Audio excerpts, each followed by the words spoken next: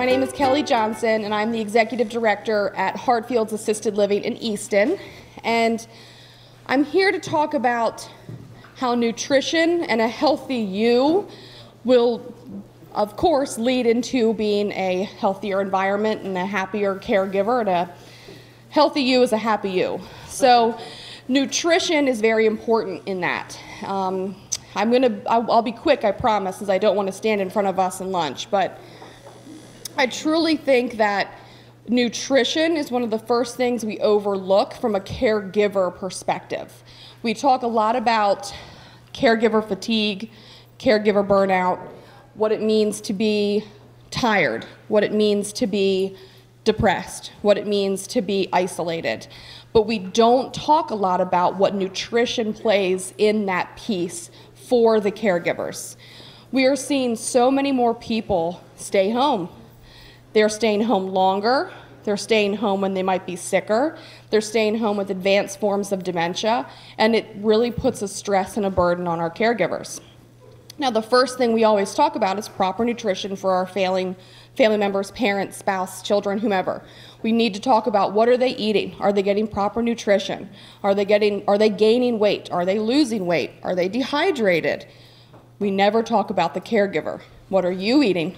Are you drinking enough?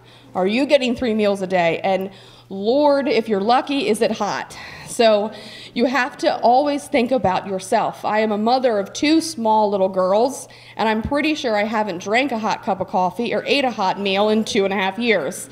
Um, so take that times 10 when you're caring for a loved one.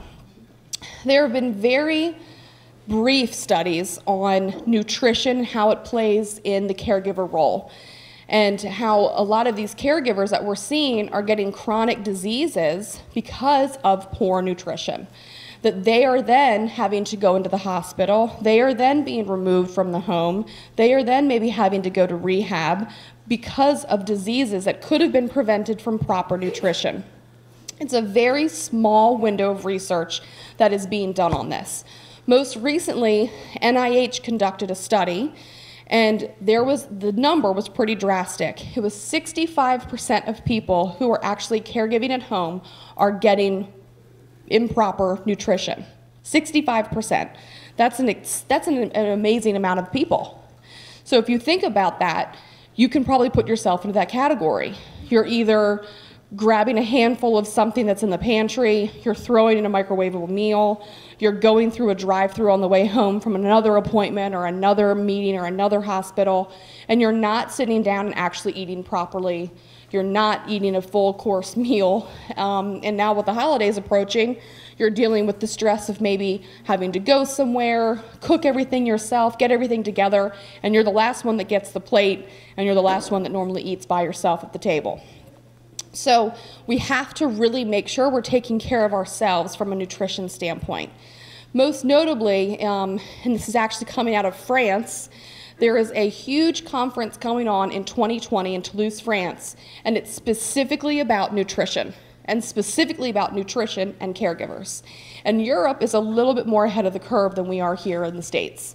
They are noticing that they have more and more people who are getting sick they are have more and more people who are elderly that have our that they don't have the resources notably that we have in regards to assisted living or long-term care communities. They are all staying home and they're noticing a huge uptick in the caregivers who they're seeing in their hospitals their doctor's offices and all these people that were not sick before they're seeing a huge influx. And they're relating it back to poor nutrition. And they're relating it back to all of these people who were not caregivers before have turned into caregivers and now they are not taking care of themselves. So that is a huge turn of events that we're seeing coming into 2020. I'm hopeful that the United States will put a little more funding and research into that as the years come on because we need to take care of ourselves. I think the whole theme of today is how do we care for ourselves to take care of the people that we love so much. If we don't take care of ourselves, we're no good to anybody else. We constantly talk about it, we constantly tell ourselves that, but we still don't do anything. we still don't help ourselves. One of the best things you can do for yourself is proper nutrition. You have to make it a point to sit down and eat a meal for yourself. You have to make sure that when you are buying your loved one something, when you are cooking and preparing a meal because you know how it is important for them to get proper nutrition, you're doing the exact same thing for yourself. So, we take that very seriously in um, our community. It's one of our main pillars of our entire mission is food and dining. We see food and dining as comfort as opposed to just uh, sit down and eat a meal. When you sit down and eat with somebody, we center our good times almost around food. You think about holidays, you think about going out with your friends, you think about your first date. Most of the time, it took place over a plate of food, it took place over a meal.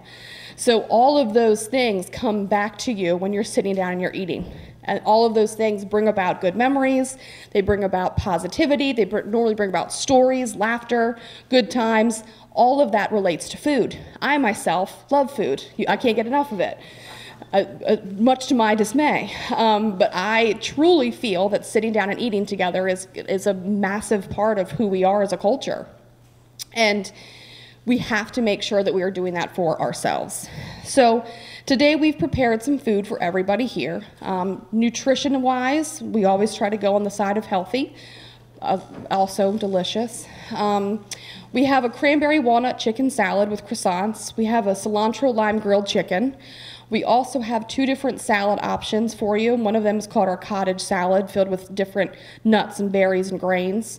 Um, we also have a fresh fruit salad, and we also have my personal favorite, which are lemon cooler cookies, um, white chocolate and coconut and lemon. I don't think you can go wrong with that combination. Uh, so we do have that available today. And so I urge you to please make sure that you're always thinking about yourself when it comes to nutrition. You're thinking about yourself when it comes to sitting down and eating. Please, I know it's so much easier said than done. Resist the urge to pop something in the microwave. Resist the urge to run through the drive through. Resist the urge to be the last person who gets the plate and sits down at the table. I know there is so much going on every day for everybody in this room. I thank you all so much for doing what you do and being the caregivers that you are because it is not an easy job. Um, I vividly remember my grandmother was the caregiver for my grandfather. Um, I'm going to shout out Compass Regional because they actually took care of both of my grandparents in the end stages of their life. So I thank you for that. Um, but my grandmother was the caregiver for my grandfather, and he had uh, cancer, and he had hospice in the home. And she was taking care of him every day, night and day. It got to the point where he wasn't sleeping well at night, and she was up with him. My grandfather lived until he was 92. So my grandmother at this point was 90, taking care of him, being in the home. We were there every day. We always focused on Pop Pop. How's Pop Pop doing? Is he okay? How's Pop Pop? How's Pop Pop? And all of a sudden, it got to the point where no one was asking about Nana. Nana, as the caregiver, was not being thought of. Nanda, who's 90 years old with double knee replacements, was home taking care of her ailing husband of 65 years. We weren't talking about Nana anymore until all of a sudden, Nana was in the hospital. Nana had dehydration, Nana had lost a significant amount of weight, and Nana was exhausted. And it made us all stop and think there is another person in this house as well. Not that we didn't love her, not that she wasn't just as important as my pop pop, but when you're taking care of somebody who's sick, when you're taking care of somebody who's passing, you forget about the person doing the caring sometimes. And we really had to put a support system in place for her. And that included bringing home meals. That included going into the refrigerator and taking everything out that was those terrible, microwavable, lean cuisine, cup of soup, whatever else question mark ingredients were in that in that refrigerator or that freezer. We had to clear that out. And no sooner did we do that, and we started rallying a little bit more as a family to take care of my Nana, who was the caregiver, she bounced right back. You know, she lived with us for another three more years, um, God willing. So, but we had, if we hadn't have kind of stepped back and saw that, and unfortunately, the wake up call was her going into the hospital, it probably would have been a different story. And a lot of it centered on her nutrition. The things that brought her to the hospital were not a fall. It wasn't a chronic illness. It was something completely related to proper diet and nutrition. And so, in order for us to maintain and go at the speed that we're always going as caregivers, we have to sometimes step back and think about ourselves. So, I leave you with welcome to the dining of Heartfields, and I hope you enjoy your lunch. And I thank you so much for letting me be here, and uh, have a wonderful rest of the conference. Thank you.